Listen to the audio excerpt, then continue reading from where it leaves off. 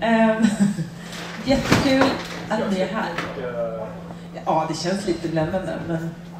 Eh, Svinkul att ni är här, ni som är här.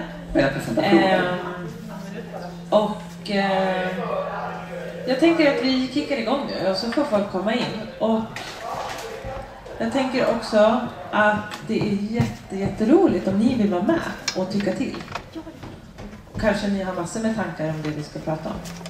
För vi ska prata lite grann om vad vår vegovision, hur den ser ut och vad den innebär. Så. Så jag tänker att ni kan presentera er själva. Börja med Camilla. Hej, jag heter Camilla Björkbom och jag är förbundsordförande i hyresrätt. Vill du muta på? Ja. Nej, det ska på. Du då? Nej. Men hörs jag bra ändå? Ja. Då kör jag utan den här. Så brukar jag bara prata lite högt. Alltså kan ni komma lite närmare? Ja, Kan ni inte göra det då? Det blir så gosigt. ja men jag kan, jag kan prata lite högre. Jag är förbundsordförande för Djurens Rätt och det har jag varit sedan eh, 2010. Så det är så. Ja, ja. Mattias? Okej, eh, M- Mattias, precis. Jag driver tidningen Vego och ger ut lite böcker. Och försöker vara överallt hela tiden och sprida vegoinspiration. Ja. Och jag heter Nina Färdig eh, och jag sysslar med veganska skor och accessoarer. Det är min liksom, huvudsyssla. Sen är jag eh, gammal punkare och har liksom min eh, aktivism därifrån. Eh, och det är ett socialt engagemang som, är, som liksom går igenom allt. Och djurrätten ingår även där. Så. Vi kör, vi kör första frågan. Eh, och man pratar mycket om den här vegovågen. Jag vet inte om, om... Nu är vi lite insnöade för att vi är så himla inne på det här med vego, men jag vet inte om ni märker av det också. Att vi, eh, är det så, tycker ni, att vi har en vegovåg i Sverige eh, och kanske även i större delar av världen som den ser ut idag? Vad säger du Camilla, från ditt perspektiv? Mm. Ja, jag tycker det. Och jag tänker på, från Djurens perspektiv så har vi ju bevakat utvecklingen i vegofrågor under flera år. Vi har gjort opinionsundersökningar och vi har kunnat se nu i den senaste att men antalet personer som väljer vego ökar. Eh, sen så vill ju jag såklart gärna se också liksom att den här etiska diskussionen om djuren och djuret och hur vi behandlar djuren också ska komma. Och den tycker jag kanske inte riktigt att vi har kommit till. Men eh, jag tänker mig också att bara det faktum att folk äter mer vegetariskt, att vi är fler som är intresserade av vegetarisk mat, det i sig öppnar ju upp också tror jag, alltså dels för människor, när vi inte längre är lika inblandade i köttätande så kanske det faktiskt kan leda till att vi får lättare att utveckla empati och medkänsla med djuren. Ja, Mattias, vill du tillägga något? Nej. För, för jag tänker lite utifrån mitt perspektiv, jag ska inte hålla på och prata om mina dojor, men, men eh, jag tänker väldigt mycket på det när jag är ute och pratar med just vad man har på sig på fötterna med folk och att vi erbjuder ett etiskt alternativ.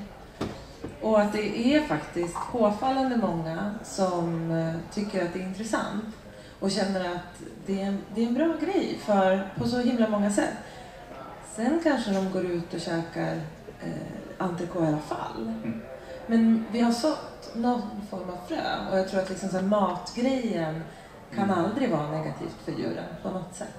Sen kan man bli frustrerad och vill att det ska gå fortare Ja. förstås. Ja, för jag som inte kommer från djurrättshållet tycker att det går jättebra. För jag, man märker i media och sånt där också att folk blir mer, folk tar sig upp frågan och pratar om liksom djuren som annat än mat.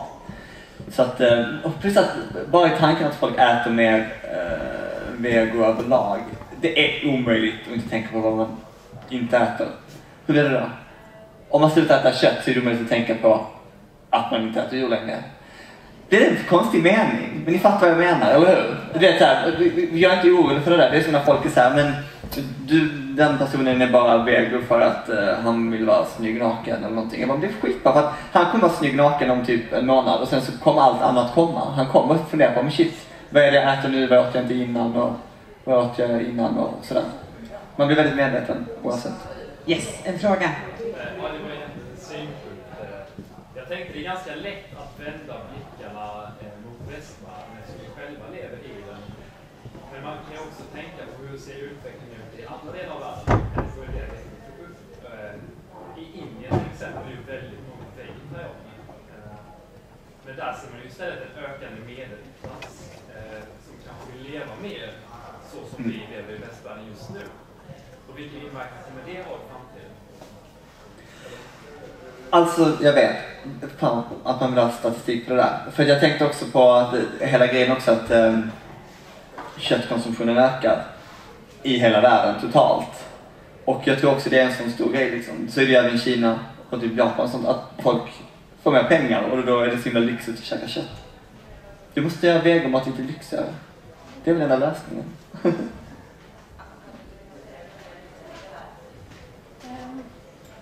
Alltså hur, hur förhåller vi oss till då till exempel att, att, eh, att människor i länder som tidigare inte har varit lika framgångsrika ekonomiskt, att de börjar då lassa in en massa kött. Eh, På det sättet som vi har gjort under så många år.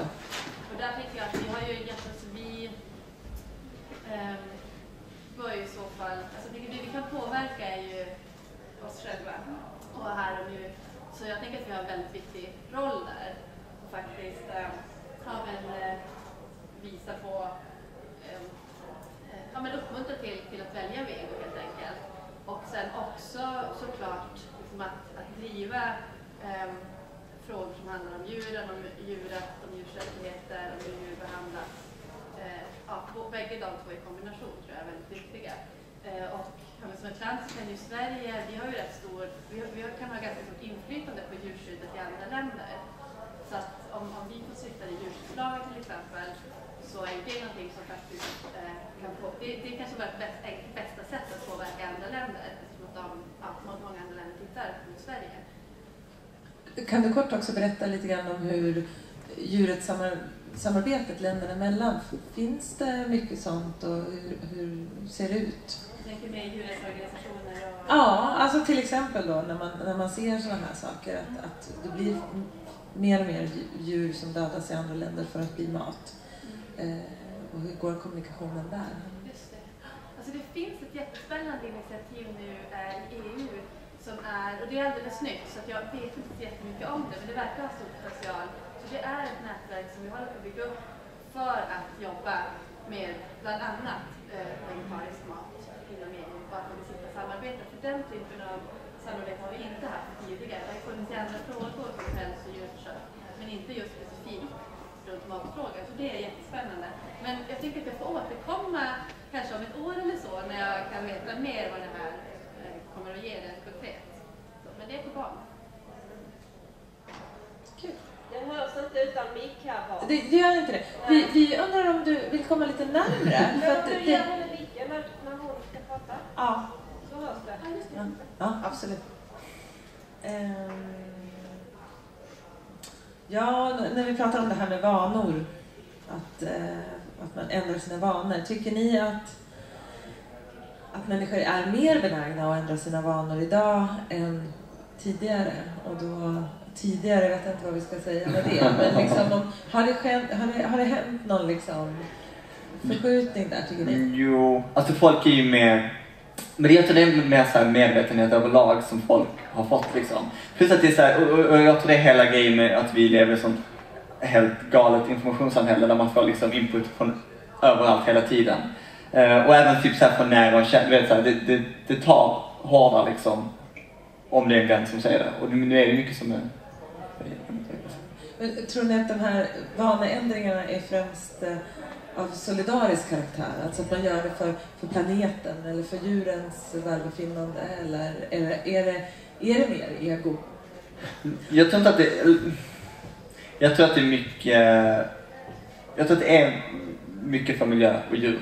Eh, och sen tänker jag så här, fast jag menar folk är ju, folk vill inte kompromissa med smak och mat. Alltså det, det, det hade inte funkat om det inte var så att vegomat var jäkligt gott.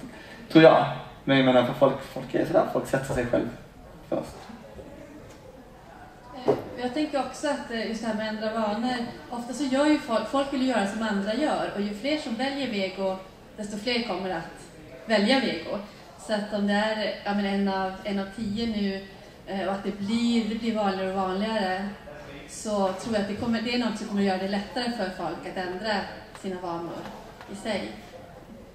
Däremot vet jag inte om vi som individer är, är liksom egentligen, men, men just det att, att Mm. ja, vi gör som andra gör. Precis. Och för, tidigare har vi inte haft något val på samma... Alltså menar, nu finns det ju typ... Nu kan ingen säga, men vad, vad, ska jag, vad ska jag få mat? Men det finns mat. Det finns mat i butiken som du kan köpa så här. Det finns recept överallt liksom. Förut hade man ju inget val och folk var väl kanske bekväma, du vet. De kanske ville käka vego och bara, äh, men vad ska jag göra liksom? Ja, ja. Eller, jag har en aning. Det var min aning. Jag skulle vilja att vi funderar lite kring eh, om veganismen överhuvudtaget kan normaliseras eh, i ett samhälle som vårt. Då. Om, vi, om vi fokuserar kanske mest på Sverige där vi är, är mest hemma just nu. Ehm, kan veganismen normaliseras och vad, om den skulle göra det, vad skulle vara den största bidragande faktorn till att, att det skulle kunna funka? Liksom?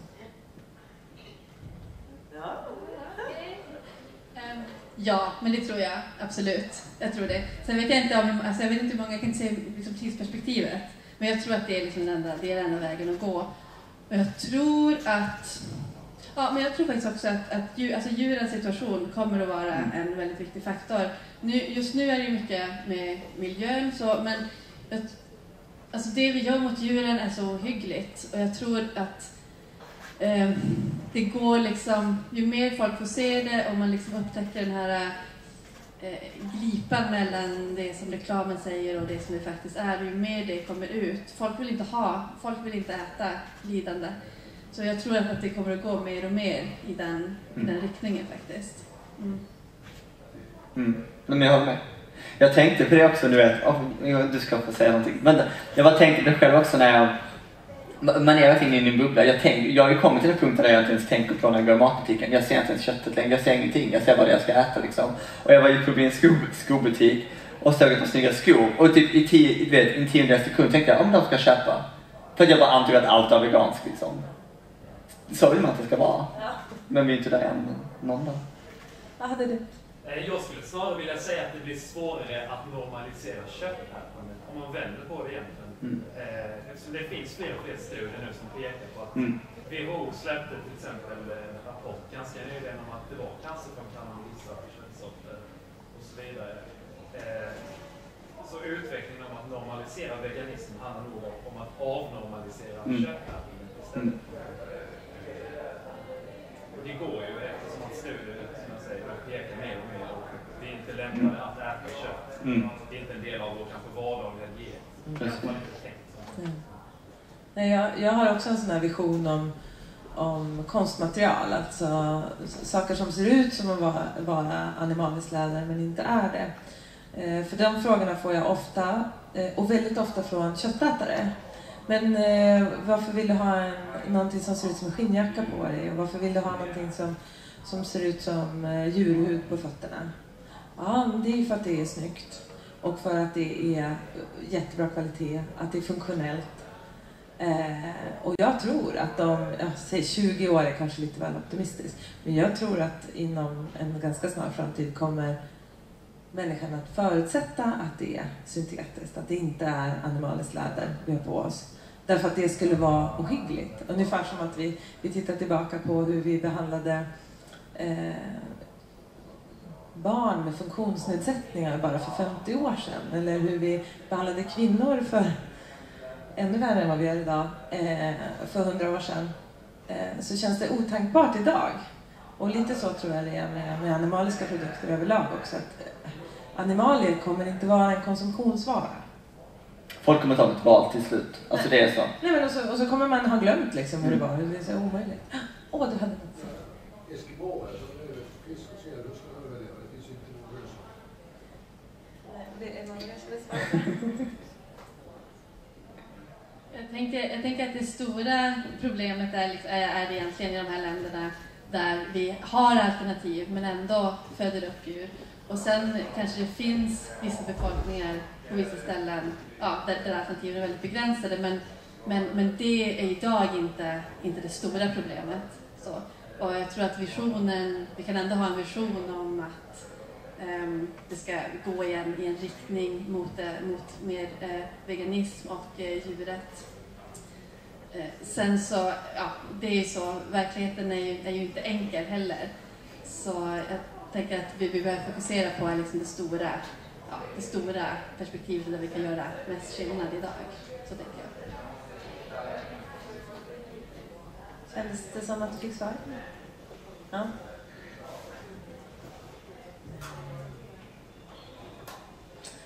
Ja, vi har inte hur mycket tid som helst på oss. Jag tänkte vi skulle plocka en, eh, en spännande fråga. Eh, Vi pratar om att vi tror att, att det är en nödvändighet att, att minska köttkonsumtionen och att, det, att det, det kommer att hända, det kommer att måste hända. Eh, Men samtidigt som vi ser den här vegovågen då i, i vårt samhälle eh, så ökar köttkonsumtionen rent globalt. Och vad kan man göra då för att minska det? Om man säger att alltså, även i Sverige ökar köttkonsumtionen fortfarande va? Den minskade Har den precis minskat? Ja. Så att, eh, men, men med 30 procent. Mm. Men den minskar i alla fall. Det har, det har ju egentligen börjat plana ut liksom och minska. Så det är ju det är jättebra. Men jag tycker att man kan inte... Jag är lite svårt för den här grejen också att man ska börja känna liksom, ha liksom ett helt världssamvete. Alltså det är såhär, fine, jag, jag har ett jättestort världssamvete men jag menar, man kan ju verkligen bara påverka sig själv och liksom, Sverige är en ganska bra start och sen bara ett fint föredöme.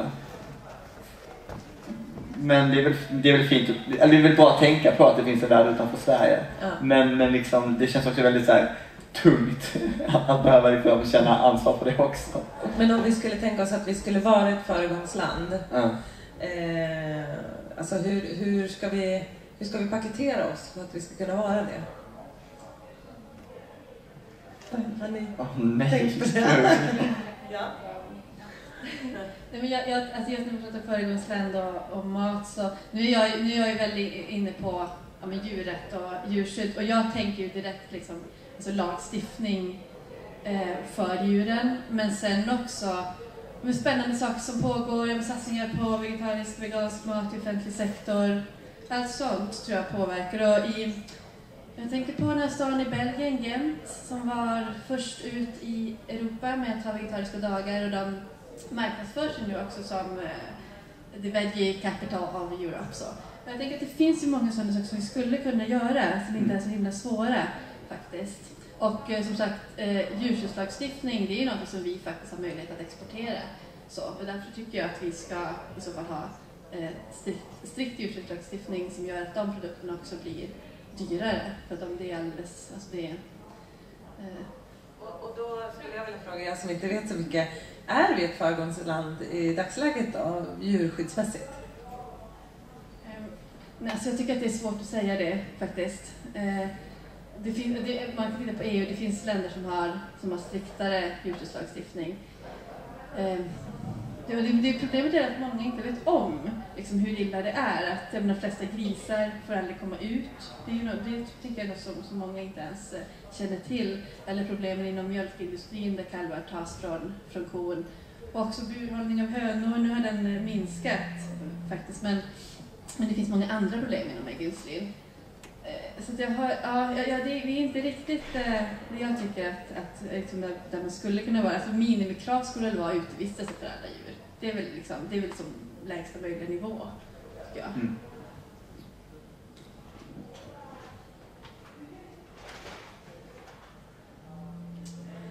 Ja. Hade vi en fråga? Nej, vad roligt! Jag undrade bara hur länge Hur länge vi har varit veganer i frågan. Eh, eller jag kan börja. Jag, jag, jag kom in senast i den här gruppen. Jaha, Jag har varit i tre år. tre år. Tre år. Ja. Var, var det ett personligt möte som fick dig att ändra livsstil? Det lät så ledande som att det var det jag träffade. Det var inte, det var inte Nina jag träffade. Nej, nej, nej, nej, jag, bara trillade, jag trillade verkligen bara in på det. Jag, det var aldrig tanke, för jag var så himla blind för allt runt omkring mig och jag levde bara för mig själv. Och det var, det var jag, jag satt på någon föreläsning och de pratade om hur kött och mjölkindustrin förstörde världen. Tänkte jag, men jag ger den måndag. Sen blev det tisdag, onsdag, torsdag, sen var man fast liksom. Och sen så, nu är, nu är man så inne i det så att man, jag, jag minns inte ens tiden före, men den finns ju för jag har bilder. men men det är säkert vad spännande att du säger det. Ja, Och men det- Jag tänker att det här är en sån här solskenshistoria som alla behöver veta och jag är så glad att du har börjat. Jo men och jag, och jag, jag är mest här, och- om vi är ändå här och det är djuret och sådär. Och, och det djur, djur var aldrig någonting jag kopplade upp med kött. Alltså jag är verkligen den som vet, jag minns när jag käkade falafel första gången och jag trodde, jag trodde att det var friterat kött liksom. Alltså jag, jag tänkte inte att det kunde vara ett annat. Och nu är det så himla absurt att tänka så. Men eh, så att det är väl som man försöker sprida vidare. Du är det här vandrande exemplet som vi sa, som Ja. vegovisionen, att alla Ja. skulle tänka så. Ja men själv så har jag varit ja, men strikt vegan då sedan eh, 15 år tillbaka.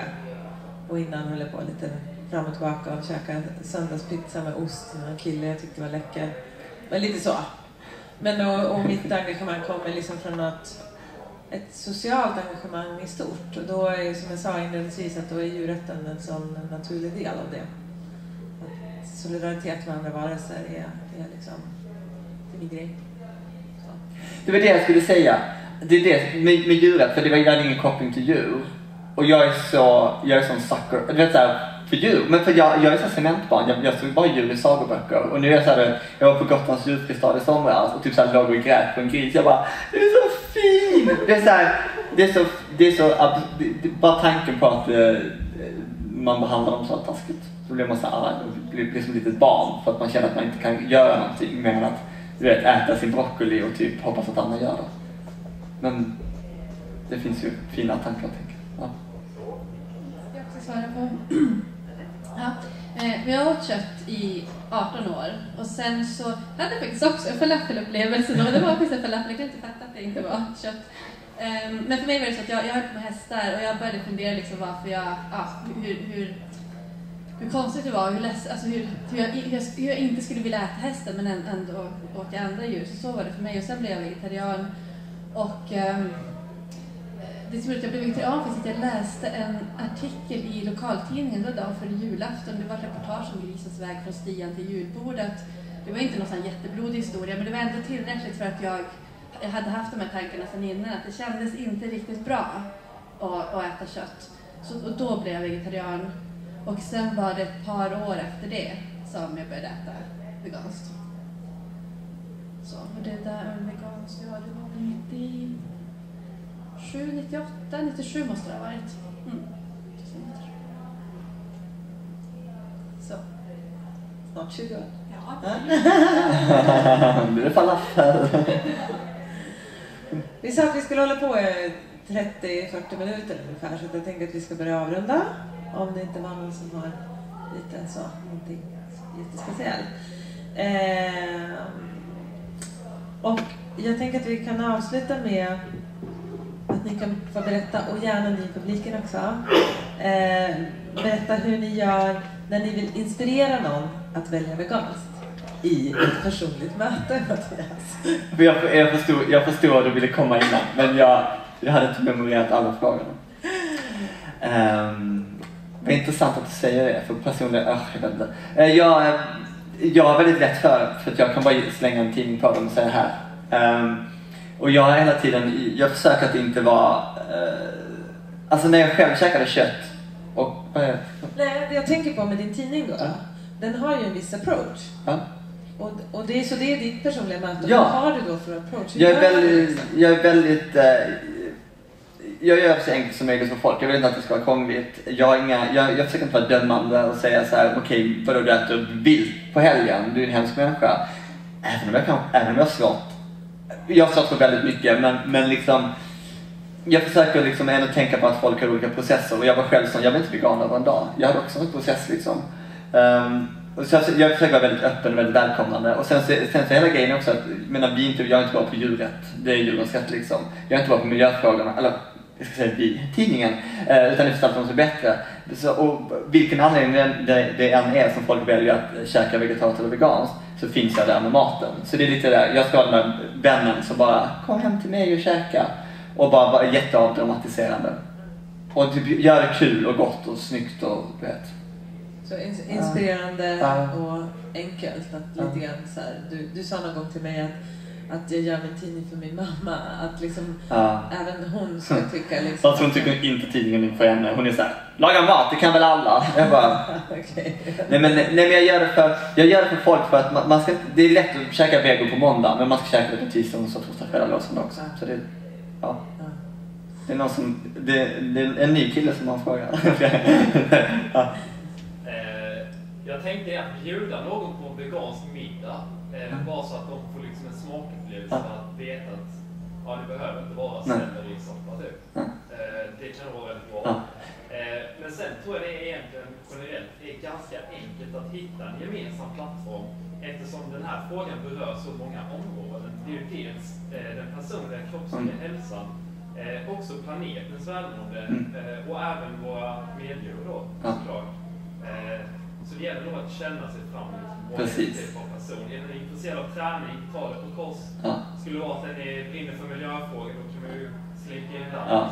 Ja men det är så man gör, speciellt så är det med tidningar i tiden när man säljer in den, du vet. Men man frågar alltid så här, ah, okej, varför vill du? De bara, ah, men just min, ja, precis, det är så man gör. Och när jag blev vegan, då bjöd jag hem alla vänner i omgångar. Och så gjorde jag, du vet, lite för ambitiösa middagar. Bara för att visa att det liksom funkade. Och nu kan jag bjuda på liksom pesto och pasta. Det är veganskt också. Nej, men du vet att bjuda är det bästa. För att om folk, det är därför jag också vill ha mycket folk med i tidningen.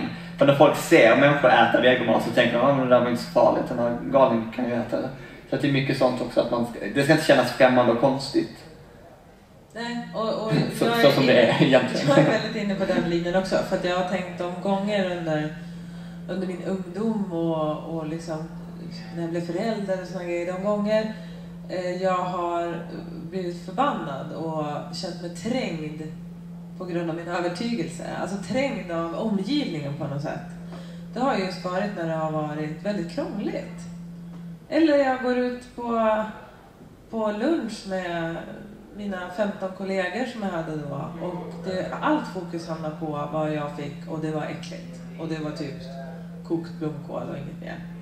Att det är liksom det här eh, väldigt tråkigt och att, att för att man är vegan eller liksom övertygad eh, djurrättare så, så förväntar sig folk att, eh, att man kan nöja sig med det som är lite tråkigt. Liksom. Så, så jag, i mina personliga möten, som är ju väldigt många i affären och att jag är en väldigt social person, så, så försöker jag att bara liksom avdramatisera precis allting och poängtera hur viktigt det är att ha roligt. Och att se ut som man vill, att kunna liksom, ja, röra sig på det sättet man vill. Att man ska liksom förvänta sig det och inte förvänta sig att det blir någon konstig diet eller något Mm. liksom jobbigt. Utan ha kul och, och sluta aldrig skratta fast du liksom går och tänker på massa Ja. saker. Man blir chockad av hur många som säger Men du verkar ju helt normal. Alltså du vet, folk verkar ha en knasig bild av folk som är veganer och vegetarianer. Man bara säger men du, du är som jag. Man bara, men du är knäpp eller? Det är klart det är. Men folk har en sån här bild av att man, jag vet inte vad man ska göra. Jag bara, nej det är, djur, det är djurens rätt som håller på så här. Det är inte vi. Ja. Ja, det blev lite tveksamt som du och jag igen. Vad- Eh, Den här gemensamma plattformen som man kanske försöker hitta. eh, Det kan vara väldigt lätt att bli personligt meddragen på en resa där. Eh, Du försöker hitta infallsvinklar, det fungerar inte riktigt ändå. Eh, Jag tror det är lätt att eh, de personliga känslorna tar över, man går över, det är då man blir lite sur, lite vresig och så vidare. Så på ett sätt så, så tror jag man måste liksom avpersonalisera sig själv i själva första Mm. mötet. För att allt som den här personen kommer använda, alla fördomar, det måste ju rinna av dig. Nej men skit i dem. Du ska inte lyssna. Nej, precis. De måste rinna av dig, för då kan du visa att du är en god förebild och att. Okej, det här inte på mig, dina billiga tips. Nej, du ska låta dem, du ska, man ska skita i idioter och sen ska man låta dem komma till dig. Alltså du vet, när de är intresserade av vegomat, då är de mottagliga. Då, då, då, då kan du liksom lägga energi på dem. Jag, jag har slutat bry mig om de som är så här, bara stolta och envisa. För det, det ger ingenting. Men då tycker jag också kanske att man ska vara ganska noga med att poängtera att, att leva veganskt eh, betyder inte att man måste skriva under på någon ism. För det kan jag också tycka är jättebesvärligt, att jag ska behöva vara likadan som, som alla andra som är veganer. Eh, när jag inte ens kan spegla mig i dem. Så, det, liksom att, att, att välja en, en schysst livsstil, att välja veganskt, är betyder inte att man behöver skriva under på någon ism egentligen. Jag förstår inte det. Förstår du vad jag menar? Nej, Men jag nickar. Nej, men alltså att det, det är inte en religion det här. Och det är inte, vi är inte... Eh, om, vad sa de? Att, hur många veganer finns det i Sverige nu då? Jag hör en miljon ibland. Jag tycker det låter jättemycket. Nej, så många är det inte. Fy- ja, Fyra procent.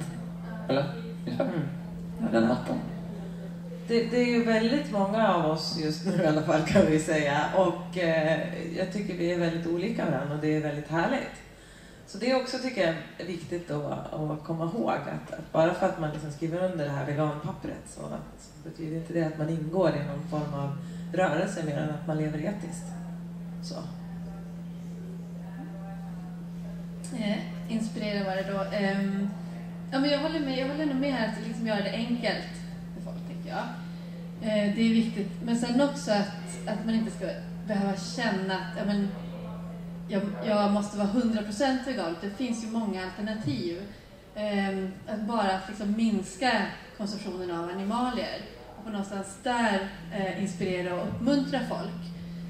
Så att det inte för jag, jag tycker att det är viktigt också att folk inte misslyckas. Liksom, utan att om man har en, en, en vilja att prova någonting nytt, att man vågar göra det. Men, men eh, att man kan ta det i de steg som man vill. Eh, det som jag däremot inte skulle, det, jag, jag skulle aldrig kunna... Alltså att äta annan typ av kött, det är liksom inget alternativ. Eh, liksom att välja kravkött, så det tycker jag inte är ett alternativ. Men däremot ja, eh, äta vegetariskt, äta veganskt eller att ha en vegodag i veckan. Eh, den typen av, av... Det finns ju en, en mängd olika sätt att göra det här på. Eller ha en vegetarisk månad till exempel, eller en vegansk månad. Så det, finns, det finns en uppsjö med, med, med alternativ faktiskt. Och då kan, tycker jag att Ja, det kan, jag tycker det kan vara trevligt att inspirera till att ja, men välj något av de alternativen. Men välj inte en annan typ av, av kött eller en annan typ av animalisk produkt. Mm. Det är fint, det är fint att, man, att folk inte ska misslyckas. För det är det folk är rädda för. Det är så allt eller inget. Och så tror de att det är typ LCHF, att om, om jag börjar äta kött igen så blir jag fet eller någonting. Det är så här. Ja, nej det är ingen diet. Det är bra. Eh, Jaha. Jag tänker att vi ska tacka för oss om inte det var någon som ville prata lite mer med oss. Eh, vi kommer ju vara här i... Ska du åka hem? Ja. Du och jag här imorgon. Ja. Ja. Är ni här imorgon? Ja men bra. Ja, men då ses vi då. Och så kan vi prata jättemycket. Vi, vi tycker väldigt mycket om att prata. Nej, men snälla säg det. Det är säkert fler som är intresserade. Jo, men eh, jag vill verkligen bli vegan, men eh, min mamma tror att, att det är ohälsosamt och Mm. att jag kommer få några hälsoproblem eller något. Mm. Jag inte kommer få in tillräckligt protein eller kalcium. och så. Så jag vet inte, men finns det något man kan säga eller något? Just det. Säg, säg att du träffade tre stycken helt normala människor som har varit veganer typ vad är 40 år tillsammans som funkar jättebra. Ja, alltså var jättekul. Om vi hade haft det här personliga mötet nu så hade vi haft chans att inspirera. Men, men jag, jag tänker just att eh, eh, skulle hon inte kunna tycka att det var okej för dig att testa en månad? Det, för att jag tänker det finns ganska många barn, små barn, som lever på typ makaroner, snabbmakaroner i en, två, tre månader eh, i liksom kritiska stadier i sitt liv när de växer upp och vägrar äta någonting annat. Det brukar gå ganska bra. Och då tänker jag så här, om, om, om du och din mamma kan tillsammans liksom komma på ett sätt som ni kan ha i vardagen eh, och att du kanske säger att jag, jag, jag lovar att käka, käka. För, för det tror jag nästan är, ja ur ett mammaperspektiv så känner jag ofta så här att det värsta som finns är när barnen inte äter. För det är en signal över att de liksom inte har någon lust att gå vidare. Men, eh, men så, att... Eh, eh, för att det finns säkert flera här som skulle säga att men du kan visa Earthlings för din mamma så kommer hon att fatta. Eller um, ja, andra sådana där tips. Men, men jag tänker att, att det viktigaste här, så länge du lever tillsammans med din mamma, är ju samarbete. Och att hon liksom visar respekt för, för din övertygelse. Ja. Jag känner igen mig väldigt mycket i det för att eh, jag eh, gick också i gymnasiet, eh, eller jag vet att de gör det men jag gick i gymnasiet. När jag, och jag hade lite samma med min mamma. Men det jag gjorde var faktiskt att jag åt veganskt, vegetariskt utanför, alltså utanför hemma. som i skolan och så. Och sen hemma så åt vi den mat hon lagade under en tid. Och sen var det så att det där svängde, alltså, ja, där det, det vände så småningom eh, när hon såg att, att jag mådde bra utav det. Så, så att det, det kan ju vara ett alternativ att försöka hitta också någon, någon väg där du kan få in mer vegansk mat men också hitta liksom en kompromiss som funkar där hon också kan se att men du mår, mår ju bra av det här. Så, ifall det är så att hon är orolig. Men när det gäller eh, kunskap då, tänker jag, för att mamma har kanske inte så jättemycket kunskap. Eh, vad kan hon söka någon, kanske ge något lättfattligt eller något lättillgängligt sådär? Mm. Alltså det, det finns ju faktiskt en bok som heter Vegansk näringslära. Eh, och det finns också, en, jag tror egentligen att nätet är en, en av de bä- bästa resurserna också, om man vill titta på. Men det, det finns också en bok som heter Vegansk näringslära som tar upp eh, många, ja, men, som går igenom alla näringsämnen och så. Jag vet inte om det finns något mer att tipsa om. Du menar en jättebra tidning som man kan kolla Ja, in? Kom förbi Monton sen. Nej, men, ja. Eh, sen så tror jag det kanske är bra eh, om du eh, alltså berättar för din mamma vilka livsmedel som finns som har protein, som faktiskt har mer protein än kött. Eh, röda linser, jordnötter, kidneybönor och så vidare. Eh, och faktiskt försöka inspirera henne också kanske.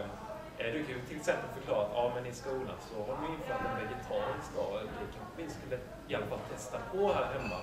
Och så kanske du skulle kunna stå för det mesta då i en vegetarisk eller vegansk matlagning.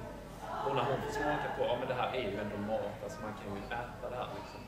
Alltså, så att du kommer över den här tröskeln typ att det finns någonting mer där än alla de här tidiga trosuppfattningarna man har haft. Alltså grönkål till exempel har mer kalcium än mjölk.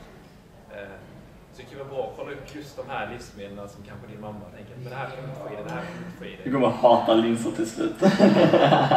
Vi hade en till eh, fråga. Det var va? Var det någon som... Ja? Nej, jag tänkte bara på det också med tidningen här. Att hon skulle kunna, jag tänkte, jag har inte med mig pengar då, men jag ska köpa imorgon Ja. nummer av Vego då. Ja. Att eh, ge henne en sån här så att hon kan göra något recept själv. Det är klart. Ja. Alltså det bästa är ju att testa, det är det. Man, ja, ja. Mm. Du får pengarna sen för att du eh, marknadsför det mig så bra. Nej, men, men, undrar hur mycket jag får för det här då, men det här är ju faktiskt sant. Min, eh, alltså jag har ju som sagt varit vegan i 15 år och levt nära mina föräldrar, har bra kontakt med dem och det var faktiskt först när din tidning kom ut som de riktigt föll för vegansk matlagning. Mm. vara. Så att, eh, och jätteengagerade och jätte liksom, Mm. sugna på att berätta för sina eh, pensionärskompisar Ja. det här också. Men det är bra. Kände du att du fick någonting? Ja, det var kul. Ja, men jag tror vi tackar för oss då. Mm. Ja, tack så hemskt mycket för att ni kom och lyssnade.